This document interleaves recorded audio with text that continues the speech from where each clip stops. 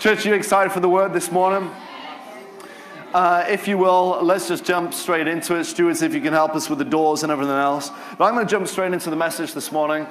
1 Corinthians chapter 1, verse 10. 1 Corinthians chapter 1, verse 10. Uh, I'm going to read a passage of scripture uh, to you. Uh, basically, Paul uh, started, and you can go back and read this. I'm just going to give you a bit of context to what I'm going to teach on in the second service. We had a great first service. Uh, the focus may be a little bit different in this service, but I want to give you a little bit of context. Uh, without turning there, in Acts chapter 18, Paul starts uh, what we know to be the church in Corinth. Uh, but there was no church in Corinth until Paul stepped out to start it. How many know uh, in order for you to start something, you got to step out? It's going to take the spirit of faith for you to step out. Amen. Well, Paul stepped out. I mean, he was, he, he went to, he went to uh, this region. We can see in Acts chapter 18.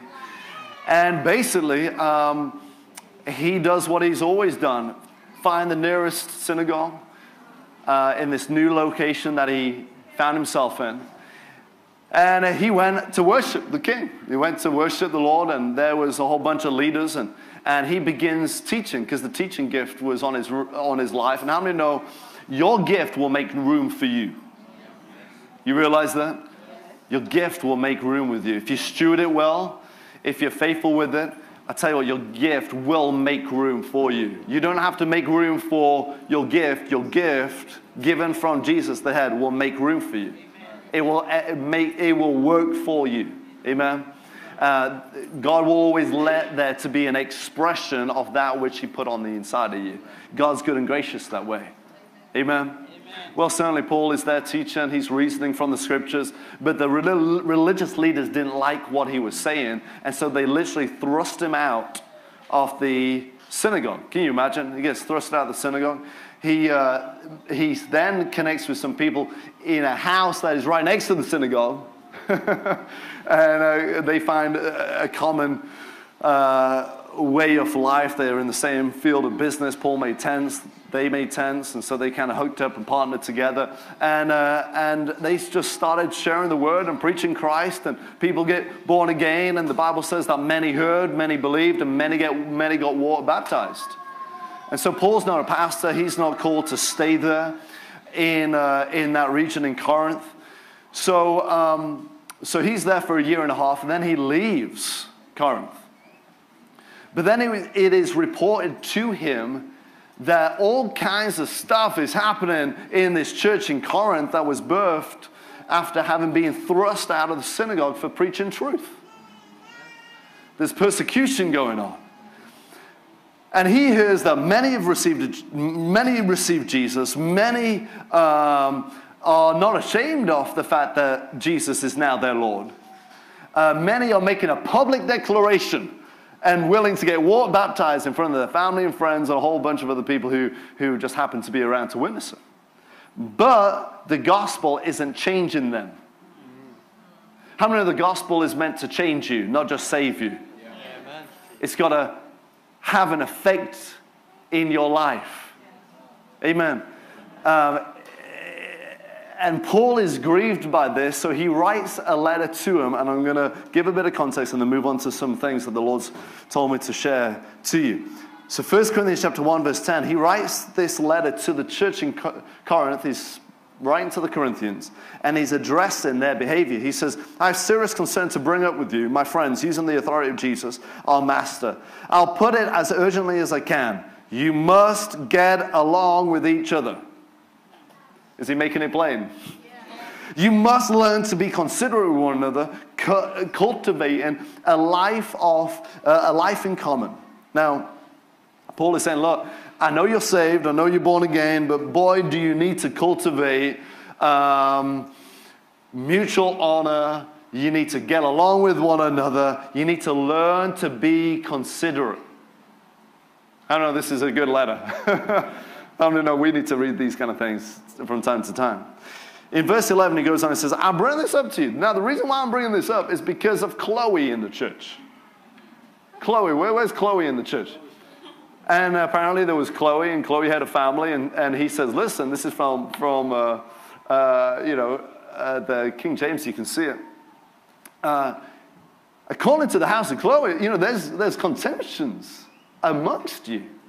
And this is why I'm bringing it up. You know, it, it's brought, the message says, it's brought a most disturbing report to my attention. And the reason why I'm bringing this up is because of what Chloe said to me.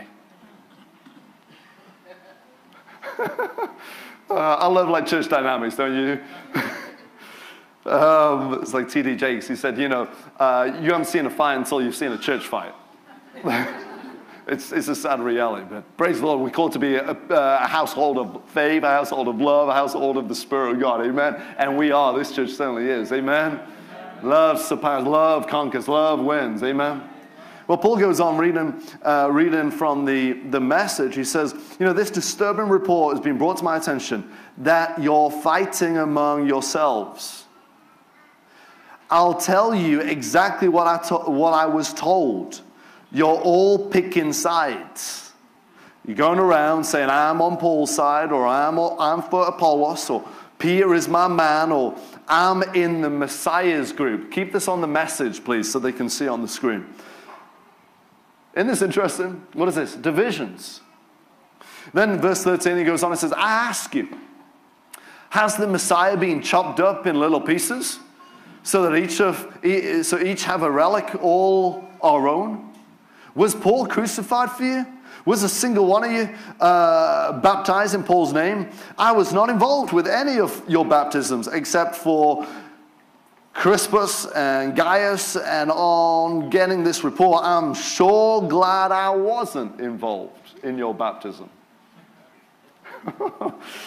At least no one can go around saying that he baptized in my name. Come to the, I mean, come to think of it, I mean, I, I also baptized Stephanas's family, but as far as I can recall, that's it.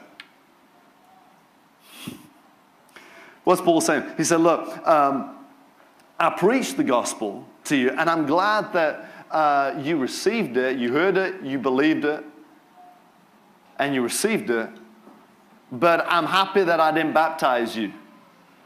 Because the way in which you're living is no different to how you were living before you received Jesus. And so, so if I was there dunking you, yet you're saying publicly that I'm, I'm saved, I'm a believer, but no one around you can tell. He said, I, I, I, that, con- that concerns me. The, the, the, the state of your walk concerns me. Now, Paul goes on in the third chapter, just move on to the first, third chapter, 1 Corinthians chapter 13, verse 1. Um, praise the Lord. And I'm not, I'm, I'm not saying this because there's divisions in the church. I'm not saying this because Chloe gave me a bad report. I'm not, is there a Chloe in the church? You, you, but, but there's a place I'm getting here. All right? But it's good. It's good for us. Reading from the King James, uh, 1 Corinthians chapter 3, verse 1, it says, and I, and I, brethren, could not speak to you as to spiritual people, but as to carnal, as to babes in Christ. I fed you with milk and not with solid food. For until now you were not able to receive it, and even now you are still not able. For you are still carnal. And where there are envy, strife, and divisions among you, are you not carnal? Are you not carnal and behaving like mere men? For when one says, I am of Paul, and another, I am of Apollos, are you not carnal? Paul goes on in the fifth chapter. Paul goes on in the fifth chapter, reading from the message this time. Fifth chapter, verse 1 and 2. He says, I also received a report of scandalous sex within your church family. A kind that wouldn't even be tolerated even outside the church. One of our men is sleeping with his stepmother, and you're so over it all. You're so over the divisions and the strives and the, and the contentions and the not getting along and, and all the social scandals and all this, this nonsense. You, are so above, above it all. Um, he goes on and says this that it doesn't even faze you. It doesn't even affect you. Shouldn't this break your hearts? Shouldn't it bring you to your knees in tears? Shouldn't this person um, and his conduct be confronted and dealt with? See, they, um,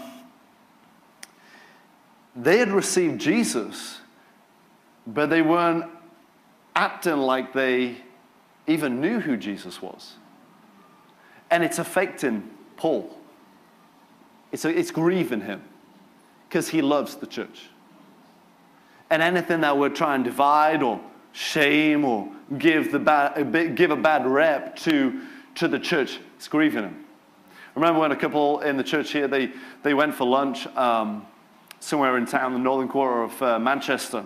And um, just after church, they, that, that particular Sunday, they, you know, they didn't always wear a suit and a tie, but they just so happened to wear a suit and a tie, and they went to get some lunch and with their family, and, and they walked into this restaurant, and um, and they were they were met by uh, two individuals, two two two guys, and and uh, they kind of looked at them and, and was like, "Oh, have you guys just come from a wedding?"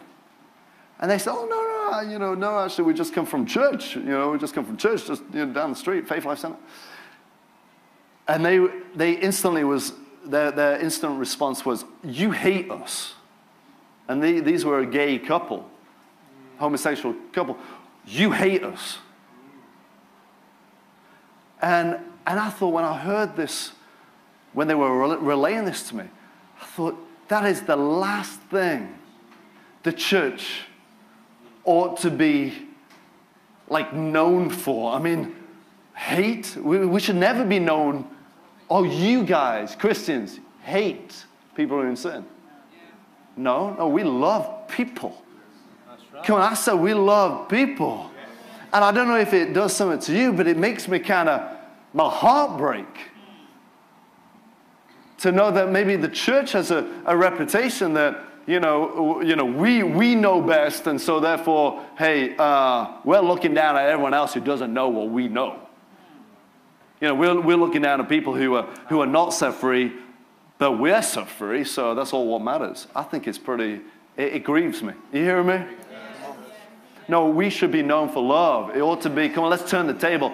Um, oh, you guys love us. You hear me? We love the people. The sin, come on, Jesus dealt with it.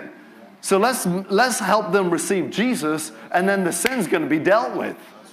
Come on, somebody. And they'll turn into a new person, new man, new woman. Amen. And, start, and they'll, they'll glorify God through their life. Hallelujah.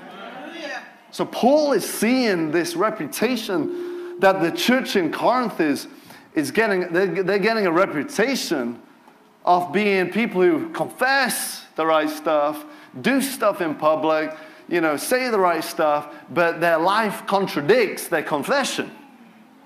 And it's grieving his heart.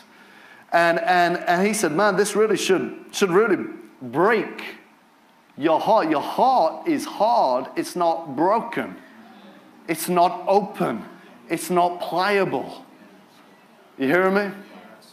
And this uh, is not the intention, uh, the direction that I'm kind of focusing on right now, is not the intention I'm wanting to get, get to.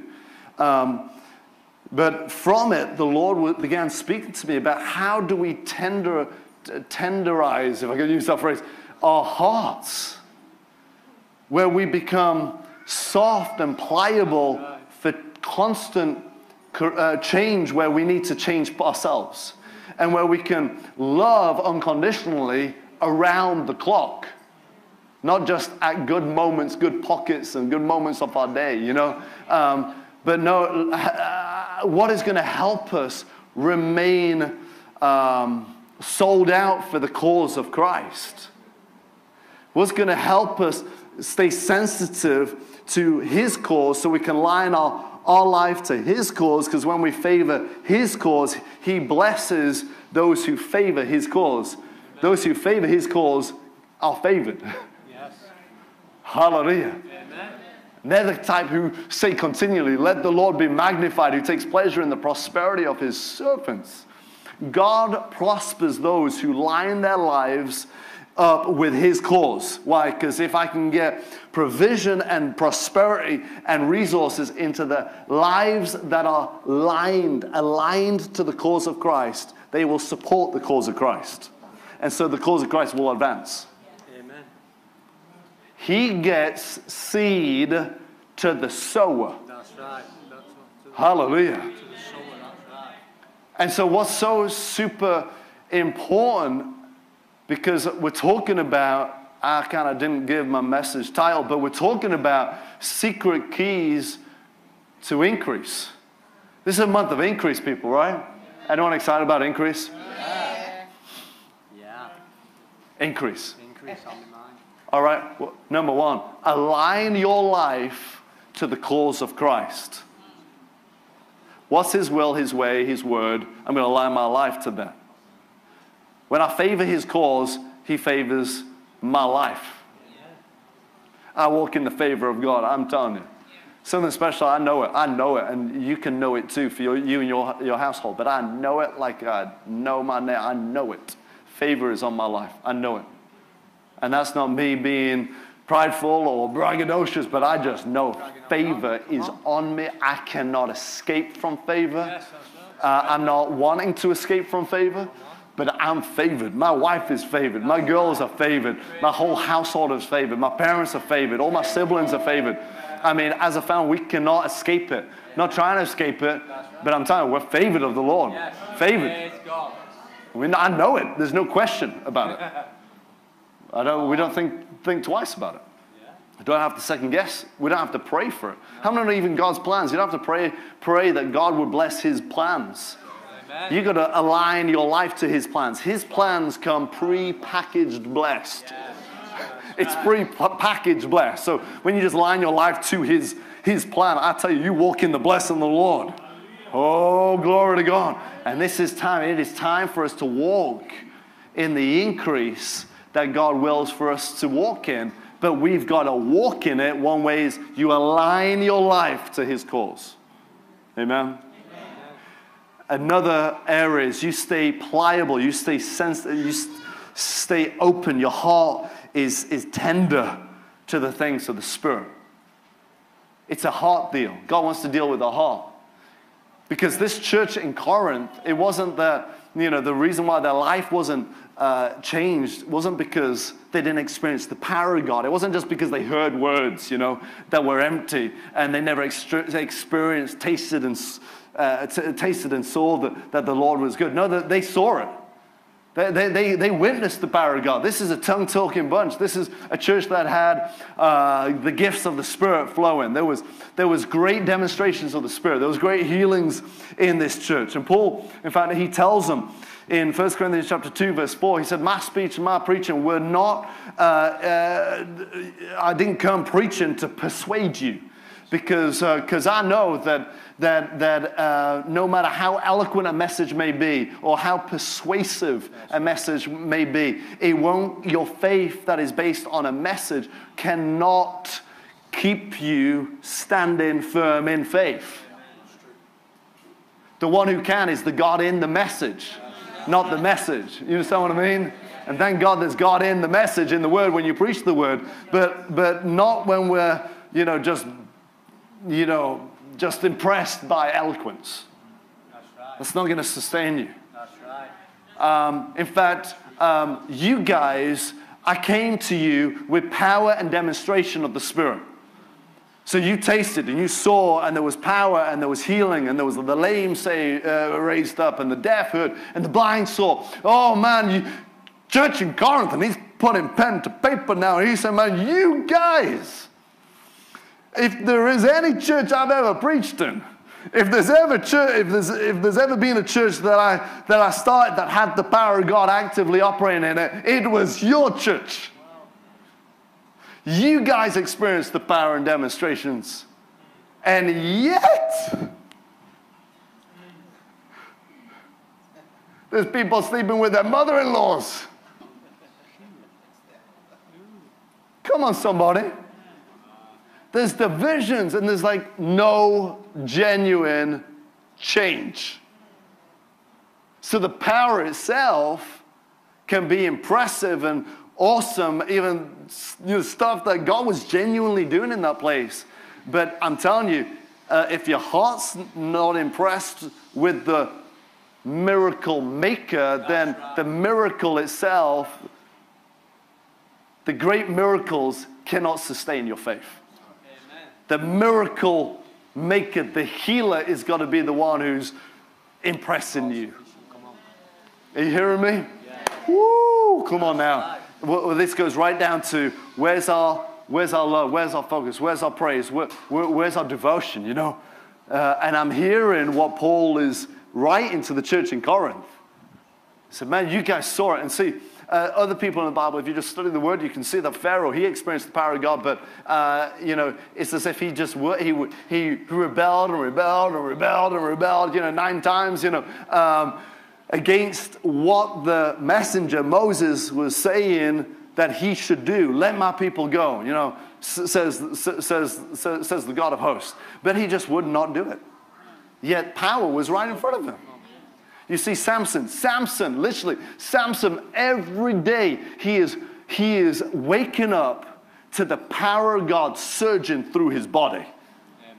Come on, he's like a powerhouse and he's waking up um, and God is faithful to, to pour the power of God in his body and he's experiencing that firsthand. And yet, 20 years of that, he still finds his, his head in the lap of a pro- prostitute. Come on, somebody. Yet he experienced the power of God. Judas, Peter experienced the power of God. I mean, I mean, how many? How many miracles did they witness firsthand? There aren't enough books in the world to contain all that took place through the life of and ministry of Jesus. Amen. It's still being written because he's living his life through us in this, in this dispensation of grace. Amen. Galatians 2:20, I've been crucified with Christ. It's no longer I who live, but Christ who lives in me. The distilled translation says, I consider myself as having died, and now I'm simply enjoying my second existence, which is Jesus using my body. The ministry of Jesus is still ongoing on the planet right here, right now, through you, through me. Amen. Hallelujah. And the amount of miracles that Peter witnessed and Paul witnessed, and uh, sorry, Peter and Judas and all the other guys witnessed, yet Judas betrays Jesus, having been in the presence of all this outworking of miracles. Peter in the presence of, of the miracle maker and witnessing it all firsthand, yet he denies Jesus. You think, what is gonna, what is gonna cause these people to change? Children of Israel, bread literally coming down from heaven. Is that supernatural?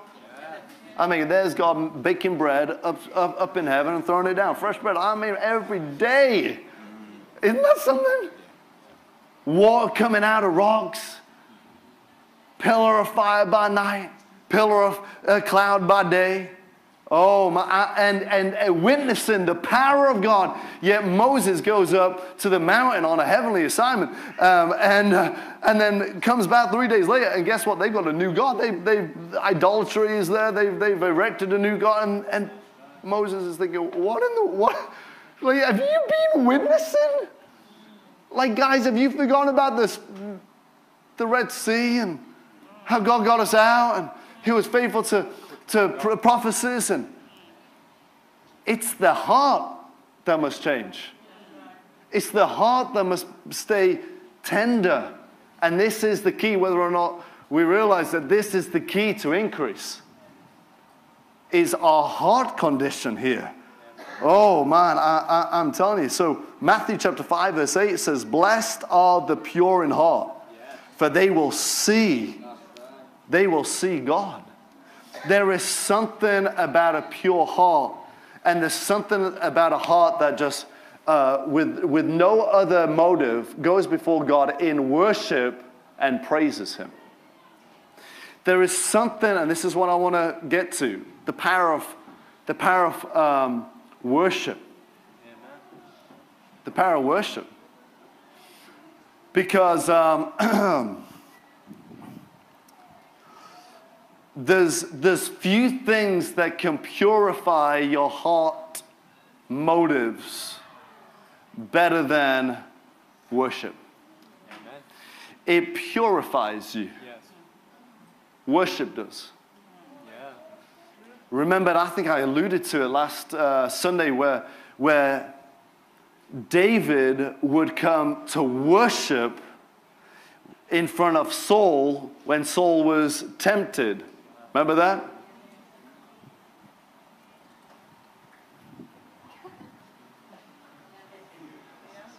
Yes. Yes. Yes. Yes. He was tormented by stuff. So, do you know what David did? He tormented the tormenting stuff. How? With his worship. Come on, worship is a weapon. Worship will just annihilate the plans of the devil. Worship will shut up the mouth of the liar, will shut the mouth of a lion. Come on now. Worship. David was a worshiper.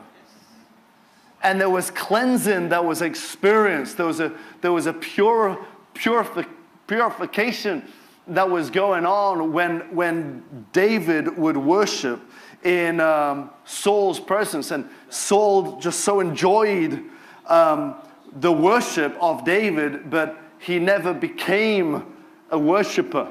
It's one thing to enjoy worship, it's another thing to be a worshiper. You understand what I mean? It's one thing to know how to put on a CD, press play, and just enjoy it. It's a whole nother thing entirely to go, okay, I'm hooking up to the Spirit, to, and I'm, I'm coming, Father, you're looking for those who would worship me, who worship you in spirit and in truth. So here I am. I'm giving my heart into this. I'm giving my soul into this. Oh, my spirit is connecting to yours, and I came for no other agenda but to worship you. To worship you. Like young King Uzziah, he said, he said, as long as young King Uzziah sought the Lord, the Lord made him prosper just for the Lord, not for stuff, not for wisdom, not for strength, just for the Lord. As long as he sought the Lord, just for the Lord. Come on, not for money, not for cars, not for houses, not for uh, anything else, but just for Him. Is it wrong to believe God for, for all those things or, or to uh, ask Him in faith for wisdom? Absolutely not. That's scriptural. But if all of our worship and all of our prayers are to get, and if, if, if, if the majority of our time isn't spent just, Lord, I'm here to worship you, I'm here to love on you, I'm here to worship you, then I think we are actually seeking the wrong things. Oh, my, my, my, my, my. I tell you, worship, worship. Someone say worship. Worship. worship. You know, it was uh, Peter who said, uh, let's just go there. First Peter.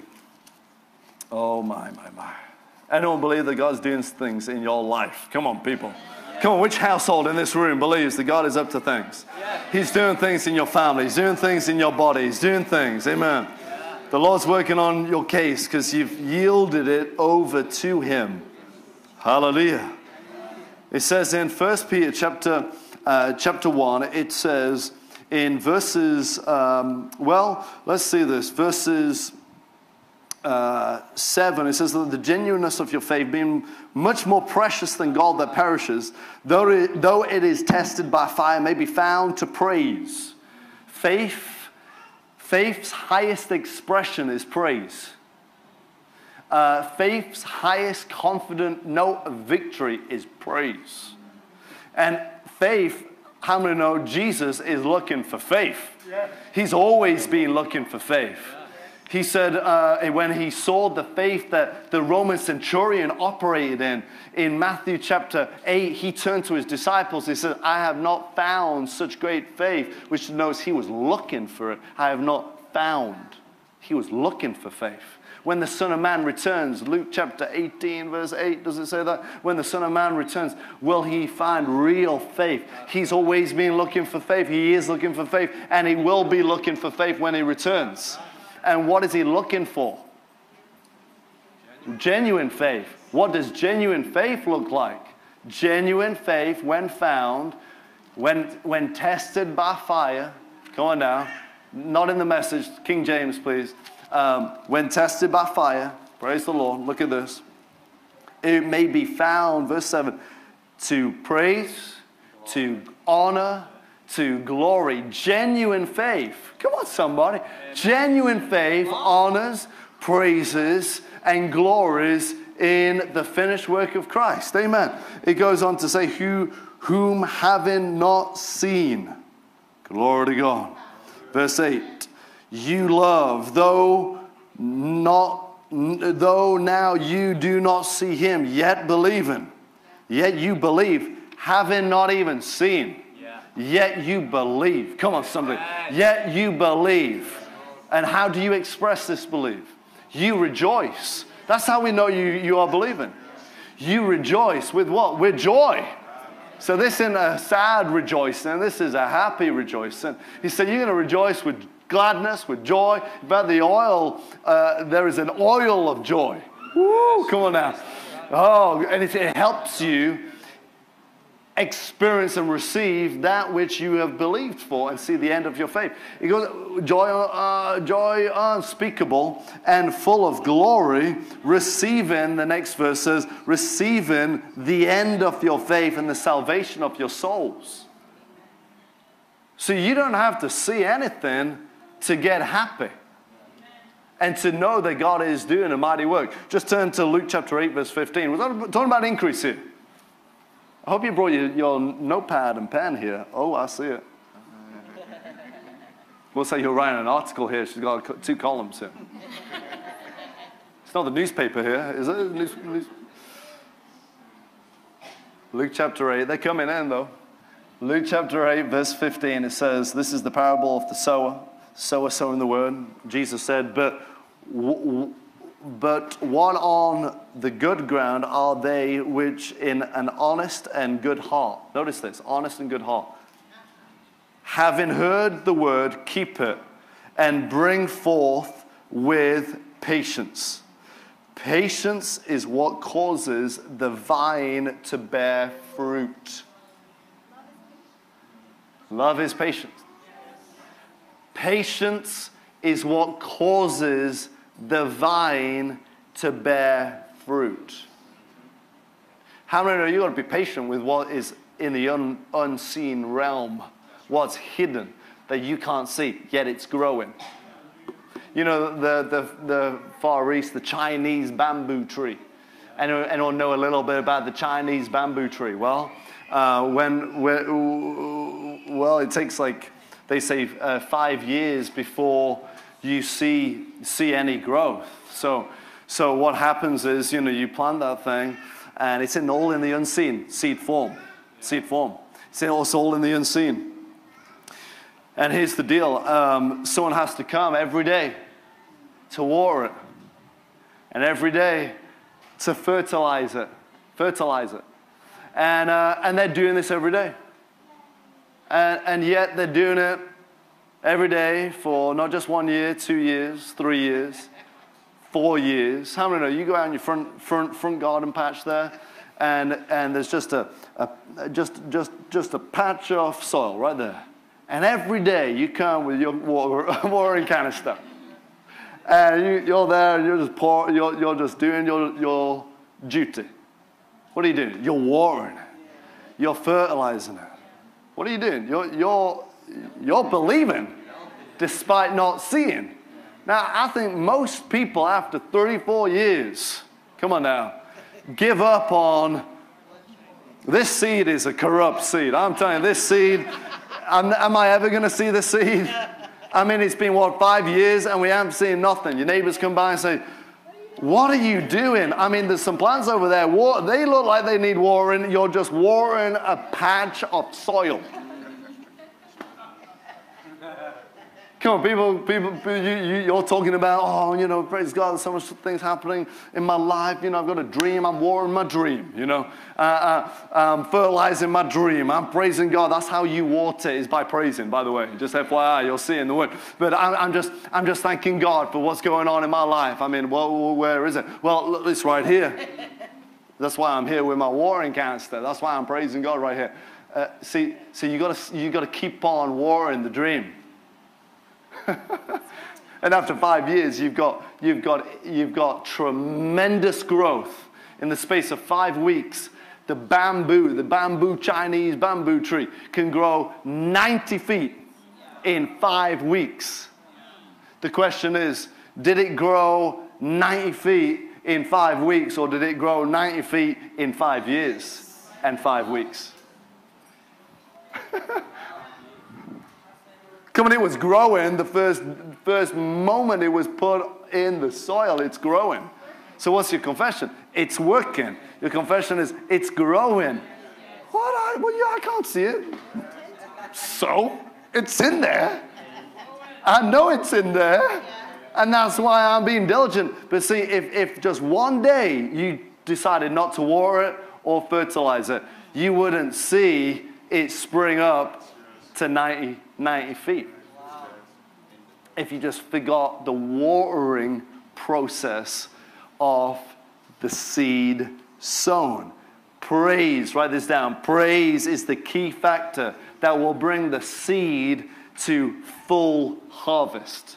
Woo. Praise is the key factor that will bring your seed all the way through to full harvest. Turn to Psalms 67, verse 5 to 7. Psalm 67, verse 5 to 7. It says, Let the peoples praise you.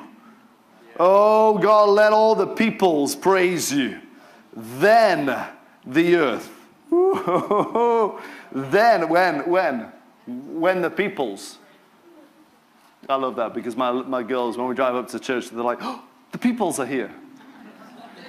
You know, when they see all your cars and stuff, oh, the peoples are here. Because sometimes we bring them, we bring them in, you know, when no one's here, you know, and uh, to, to do work or whatever, and no other cars but ours are here. And so, so when we drive up in all you guys' cars here, oh, the peoples. Yes, the peoples. He said, let all the peoples, not just, not just this section, but all the peoples. The peoples in this section, the peoples in that section, peoples watching online right now. He said, let them all praise. And then, come on now, it's not this verse. It's Psalm 67, verse 5 to 7. It says, Let all, let the peoples praise you, O Lord. Let all the peoples praise you. Psalm 67, verse 5 to 7. Then, it says, verse 6, then the earth shall yield her increase. When? Praise. Why? Because praise is the key factor that will bring, praise is the key factor that will bring your seed to full harvest. Do you think praise is important? Yes. I think the Lord's speaking to us about praise this year. Why, uh, this, this month? Why, why would He? Because praise is the watering can. Praise is the fertilizer. Praise is the weapon. Come on now. It's the trigger. It's the very thing that will release the increase that's in the seed, and you will see the end of your faith. There is something between believing and receiving the end of your faith. There's something in the middle, something between. Believing, something in between believing and receiving, it's rejoicing. And you take rejoicing out, you won't see the end of your faith. You hear me? Man, I thought you, you would actually start doing the word right at this moment. I thought, you know what? People are going to jump up and down and go, I'm going to, I choose, I choose to praise the Lord right now. I saw it. I saw it in my dreams, you know, like, and my dreams are coming to pass. I'm just watering it. I'm just watering it right now. How do you know we're called to be doers? Come on, has anyone got seed in the ground? Has anyone got a dream that you're warring? Has anyone got something? Come on, that thing is about to shoot up 90 feet. It's, it's, it's, there's going to be a suddenly here and a suddenly there. But you know who this is for? Do you know who this is for? It's those who don't quit, don't quit on the warring kind of stuff. it's the rejoices. Yeah, so my wife, she's so good, man. She's so uh, diligent to, to water our gardens, and we're, we're reaping the benefits of her hard labor. I mean, all last year, I mean, she's watering just soil. You know, I'm thinking, dear Lord, you know, what are you doing? You know, and uh, uh, but now I'm like, she's smarter than I was going to say something else, but she's smart. She looks smart and she is smart. and and but but when she was gone, you know, I, I just loved that. I loved um, watering the flowers. when she was gone. Obviously, in this heat, we needed it, right? But how many know your dreams need it? Yeah.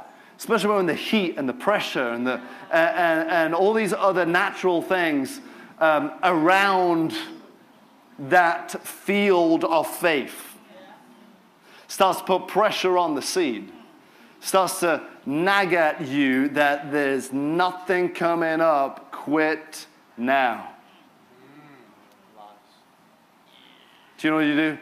You go right to where you put that canister, you go right to the spout, you let the glory be poured out on the inside of you. How is it going to be poured out? Come on now, because you, you, we water this with our praise. You got to be filled. Like the canister's got to be filled, you know? You got to be filled so that you got it to give. You understand what I'm saying here? And see, it's, it's a double whammy here. You release it with praise and you get filled up with praise. Ooh, it's a, I'll tell you, it's a double whammy. It's like, oh, okay, don't miss the point. Praise, praise, right? Just praise, praise, pray. That's probably why Paul said, you know, to the church in Philippi in Philippians chapter 4, verse 4, it says, you know, uh, praise the Lord. Rejoice in the Lord always. And again, I say, rejoice. Can we get filled whilst you're rejoicing and then let it out? Come on, re- release the praise. Release the fresh infilling through the vehicle of praising the Father. Are you hearing it? Are you working with this analogy right here? Fill the canister with praise and then release the contents of the canister with praise. What am I going to do? I'm watering the seed sown. Because I determine, because Lord, you said it, this is a time of increase. So I'm going to get real diligent here to get filled up, and my canister's going to get filled up, and I'm going to release this, and I'm not quitting on no seed that I put on the ground. And it, in fact, listen, it's not your seed. You're being a steward of it. He gives seed to the sower. It's not even your seed. It's something that he gave to you. How are you stewarding what he gave you? We steward the seed with praise. Oh, and that's how it grows. Come on up. We do something, we do something with it. We do something with it. Hallelujah. Praise ripens the fruits of the Spirit. Woo, come on now. Uh, praise uh, uh, lubricates and oils life's activities. So there's just a glide to you. There's a way in which you, you, you do life with ease. How? There's a release of the anointing of God through what? Praising the Lord. Ooh, man, I'm, I'm called to do this. You know, man, we're, we're, we're, this, I'm anointed for this. Father, I want to praise you for the things I've got to do today. Come on, you wake up. Man, I've got a task list that is triple the length of yesterday's, but I praise you and I thank you because there's an oil of gladness and an oil of joy and an anointing that is released that lubricates life's activity that causes me to just flow with Him without toil. Woo, glory. The praise of the Lord. I'm going to preach as long as I need to before we start actually praising and doing the word. Amen. Because we're doers in this church. Amen. We wake up. How would your walls describe you? Your walls in your bedroom. If we could ask them, hey, tell, tell, me, t- tell me about the real Joel. Tell me about him. Is he a praiser? Is he a worshiper? If they can't say he is, then I'm not. What's the first thing I do when I wake up? What's the last thing I do when I go to bed? How would my walls describe me? Not how other people describe me when I'm here. How do my walls describe me? Because God sees me. And God so wants, like a father, I was on the way in, you know, because um, Evie came early for prayer, and I'm like trying to get, yeah, I'm getting, I'm not trying, I'm a doer. I'm not a tryer, I'm a doer. I'm a doer. So I, I, I do, did dress my kids, right? And, and uh, I dressed my children, and they look pretty good. I mean, they don't look too bad. I mean, she made it very easy for me. She laid it all out for me, you know, three piles. Uh, the shoes were a bit of an issue because the shoes weren't next to the socks. So I had to figure out what shoes goes with this. And so that was complicated. But uh, the oil of, of, of God, the anointing of God, just lubricated my activities. And those shoes slipped on. And they slipped on like no sweat. Praise the Lord. Anyway. Uh, but on the way in, I was thinking, man, ah, you know, I just didn't think about the bobble situation. But thank God for an older sister who's 10 now, double figures. So she brought the box and she brought a whole bunch of bubbles. But it just triggered a thought how much I want my girls to be abundantly provided for. I don't want a clip missed. I don't want a, a, a bubble missed. You know, uh, as a dad, I want to I wanna make sure they're provided for. How much more our daddy? Come on. That's right. He so wants you to increase in life. Right. He so needs you to increase in life. It, so that you can focus on the main thing and fulfill the purpose on your life. Hallelujah. Praise is the expression of utmost confidence. Utmost, come on, utmost confidence in God's word. Acts 16 25, what do we see? We see an example of Paul the Apostle practicing what he preached. What was he doing? Midnight hour. Praising, singing, glorifying the King. See, praise is designed for the midnight hour and for every hour. In fact, every single prayer of Paul's. See, we're, we're, we're, we're revealing secrets that would help us unlock and release the resurrection power of Almighty God that resides on the inside of us and that is ready to be poured out. How do we know? Resurrection power within it. Come on now, Jesus became poor so that we could become abundantly provided for. So what the Word of God says, right? He became poor so that we could be rich. The word rich means um, to have all, all conceivable good, to be abundantly provided for. The word prosper, prosperity, is the word good journey. And it means, hey, we've all got a journey. We're, we are here now, but we need to get over there. And that's our final destination. And when we get there and cross the uh, finish line, we're going to hear these words Well done, good and faithful uh, servant. But here's the deal you can't fulfill the call of God in your life without prosperity. You need to prosper. And a good journey where you run out of money to fill it up with petrol, diesel, whatever you run on, is not a good journey. Without food, it's not a good journey. Without AC working, it's not a good journey, right? Food, it's not a good journey. People to help you along the way, that's not a good journey. But to prosper is to have a good journey where you get there on time, you get there without lack, you get there with everything in place. Amen. You get there in good timing, you get there efficiently. That's prosperity. That's prosperity. And you have a really good time along the way. Nothing like a good road trip. Nothing like a good journey. You hearing me?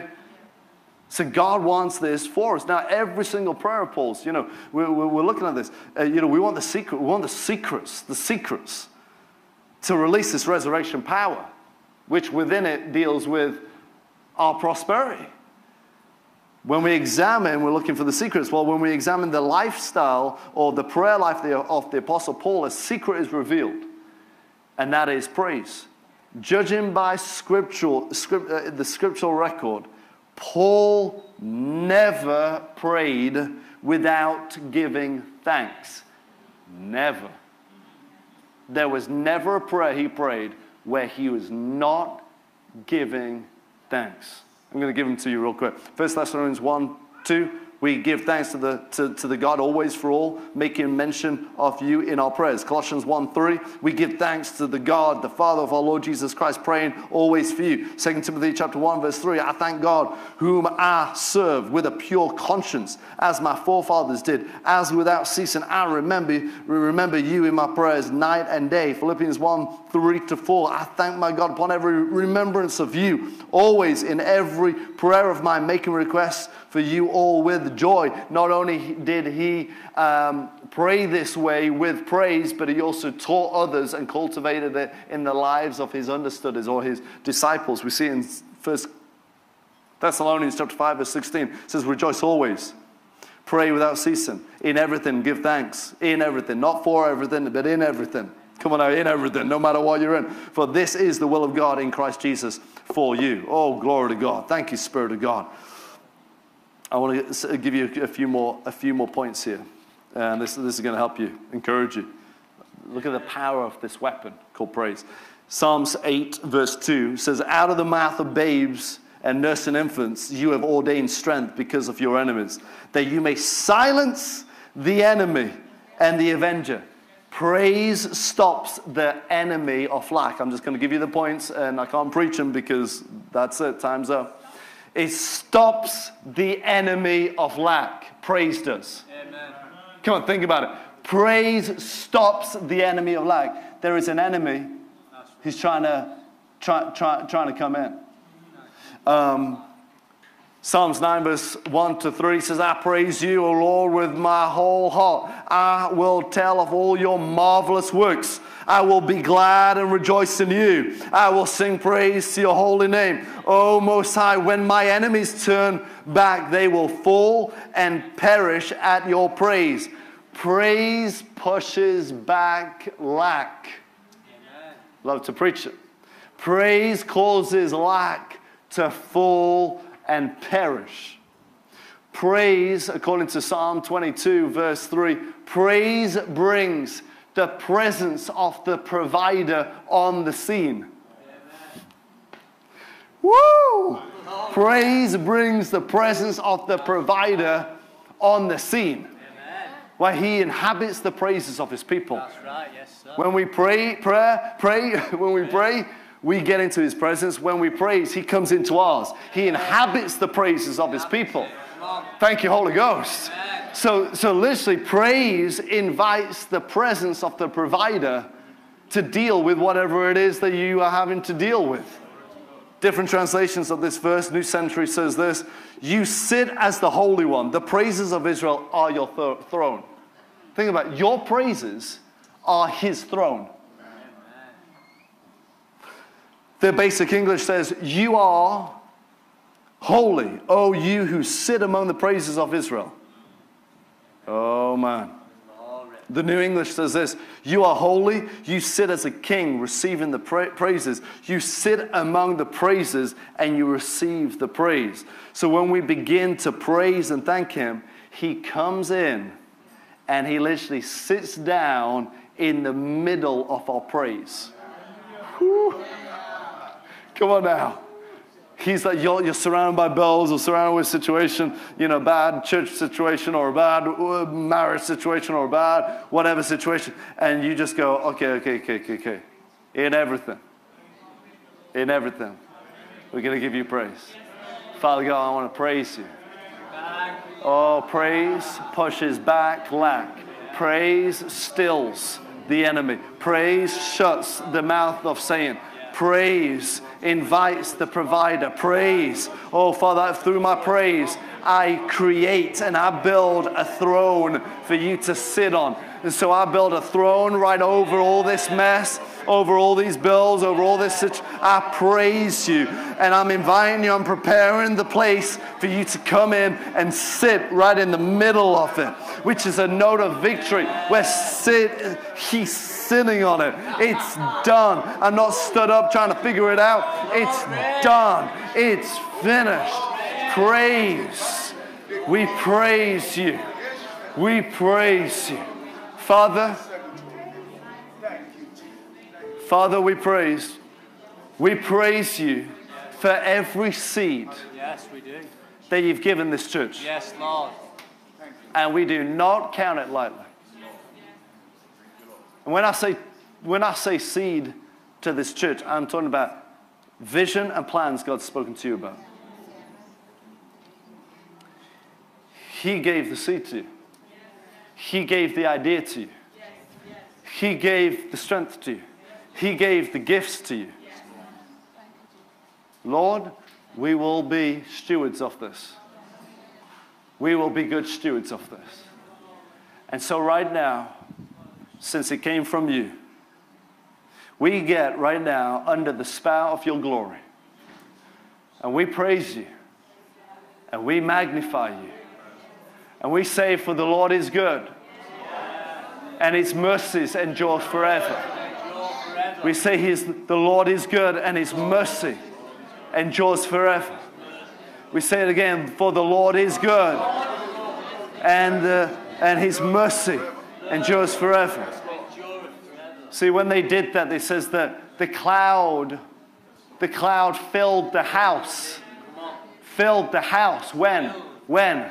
When the, when, when the, come on, when the, when the 120 uh, trumpeters got to sound in their trumpets, when the 900 strong choir started to sing as one accord. Come on now. When, the, when, when those with the instruments started to play with one voice in one accord, and when every voice in the house, when all started saying, God is good and his mercy endured forever, there was an outpouring of heaven. There was the glory cloud that filled the house.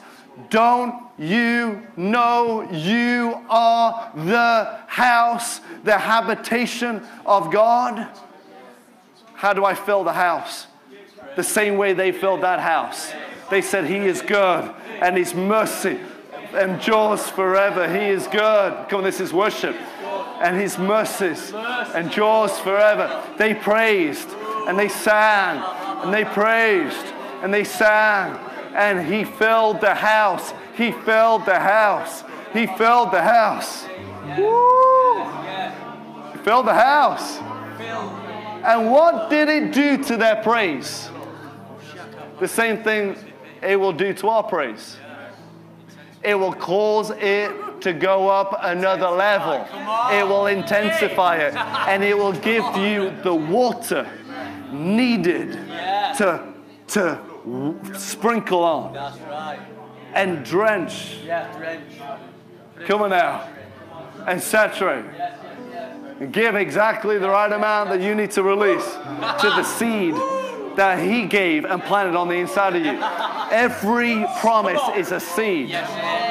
He fills you with the water and He empowers you to do the watering. How am I going to release it? The same way you received it.